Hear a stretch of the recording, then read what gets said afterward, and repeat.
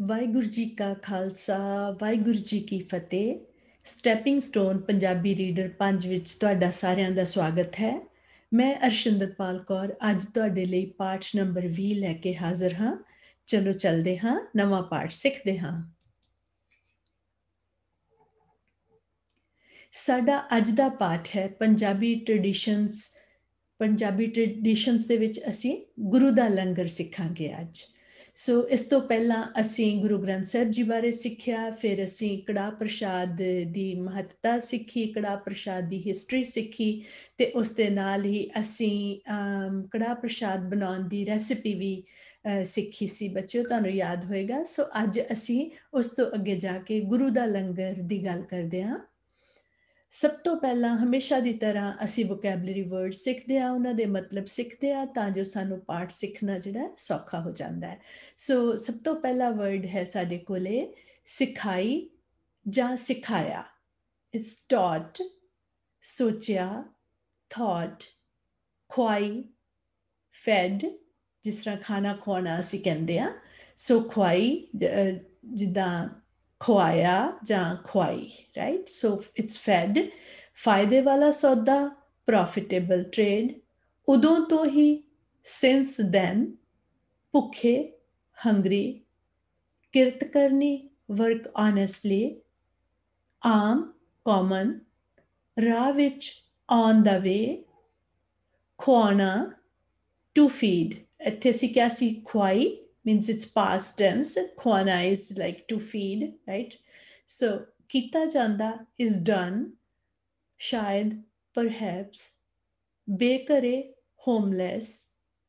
Tahi, that's why.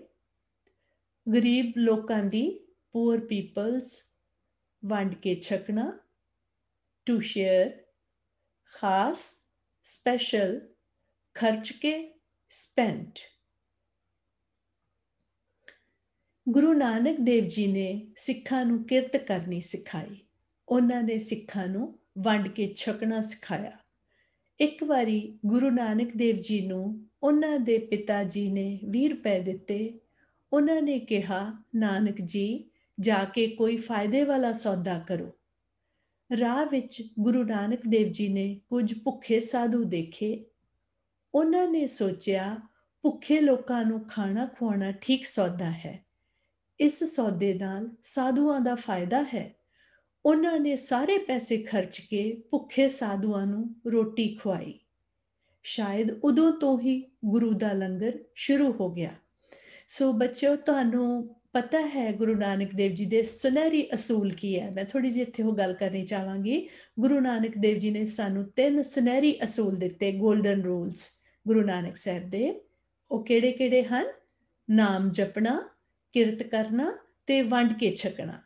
ਸੋ ਇੱਥੇ ਅਸੀਂ ਗੱਲ ਕਰ ਰਹੇ ਹਾਂ ਕਿਰਤ ਕਰਨ ਦੀ ਤੇ ਜਿਹੜਾ ਪ੍ਰੋਫਿਟੇਬਲ ਟ੍ਰੇਡ ਜਿਹੜਾ ਗੁਰੂ ਸਾਹਿਬ ਨੇ ਕੀਤਾ, ਸੱਚਾ ਸੌਦਾ ਕਹਿ ਲੋ ਜਾਂ ਫਾਇਦੇ ਵਾਲਾ ਸੌਦਾ ਜਿਹੜਾ, ਉਹਨਾਂ ਨੂੰ ਲੱਗਿਆ ਵੰਡ ਕੇ ਛਕਣਾ ਤੇ ਉਹਨਾਂ ਨੇ ਭੁੱਖੇ ਸਾਧੂਆਂ ਨੂੰ ਜਿਹੜਾ ਭੋਜਨ ਛਕਾਇਆ ਸੀ ਸੋ ਉਥੋਂ ਤੋਂ, ਉਦੋਂ ਤੋਂ ਹੀ ਲੰਗਰ, ਗੁਰੂ ਦਾ ਲੰਗਰ ਸ਼ੁਰੂ ਹੋ ਗਿਆ।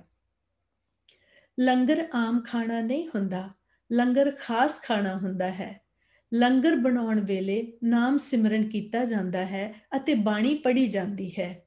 ਲੰਗਰ ਛਕਾਉਣ ਤੋਂ ਪਹਿਲਾਂ ਗੁਰੂ ਦੀ ਅਸੀਸ ਲਈ ਜਾਂਦੀ ਹੈ। ਸਾਰੀ ਸੰਗਤ ਮਿਲ ਕੇ ਲੰਗਰ ਛਕਦੀ ਹੈ।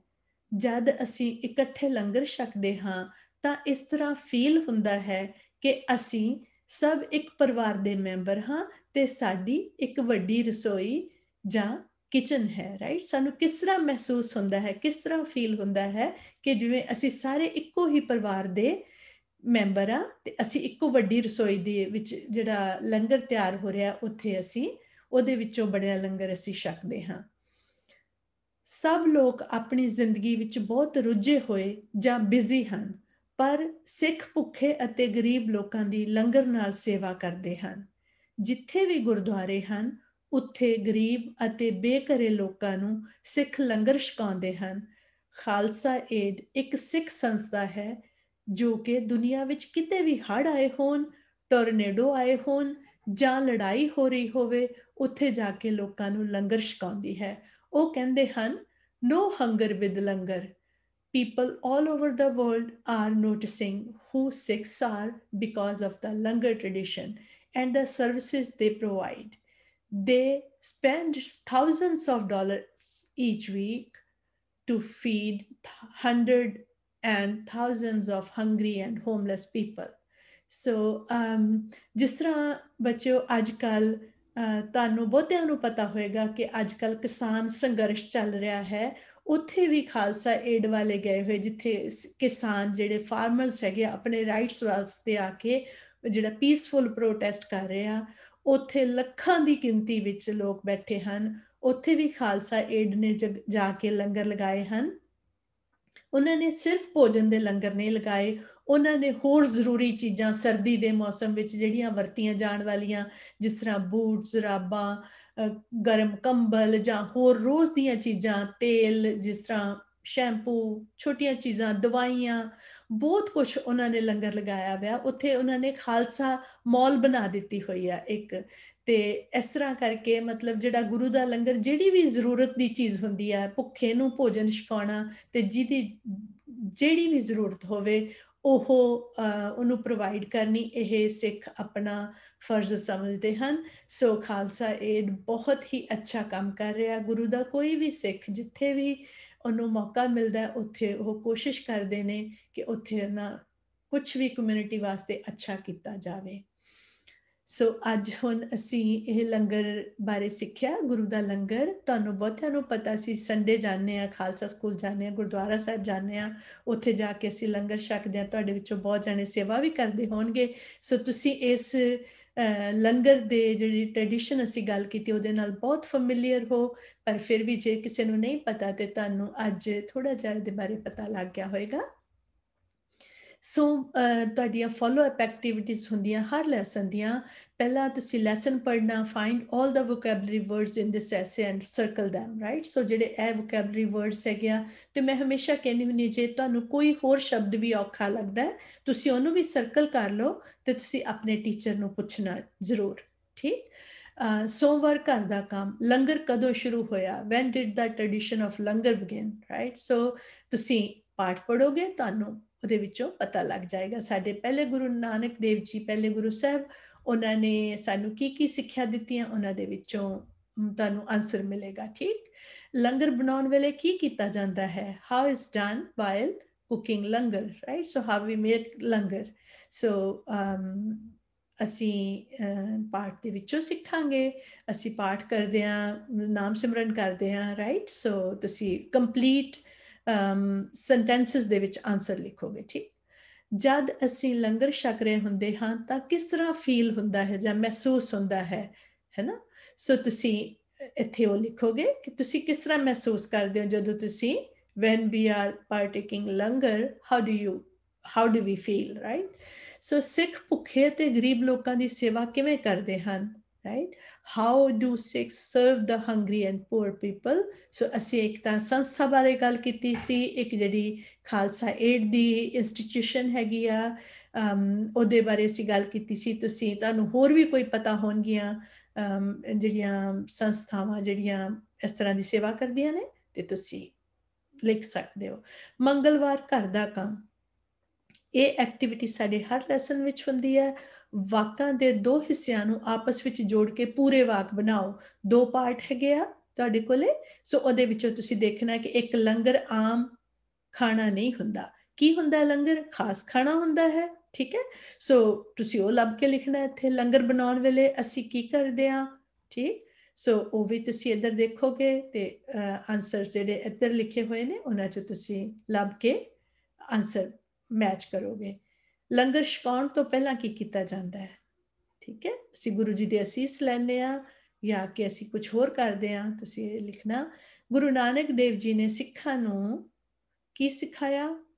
ਭੁੱਖੇ ਲੋਕਾਂ ਨੂੰ ਖਾਣਾ ਖਵਾਉਣਾ ਕੀ ਹੈ ਤੁਹਾਡੇ ਅਨੁਸਾਰ? ਠੀਕ ਹੈ ਬਟ ਯੂ ਥਿੰਕ ਸੋ ਤੁਸੀਂ ਇਧਰੋਂ ਆਨਸਰ ਪੜਨਾ ਤੇ ਜੋ ਤੁਹਾਨੂੰ ਲੱਗੇ ਠੀਕ ਆਨਸਰ ਤੁਸੀਂ ਉਹਦੇ ਨਾਲ ਮੈਚ ਕਰਨਾ।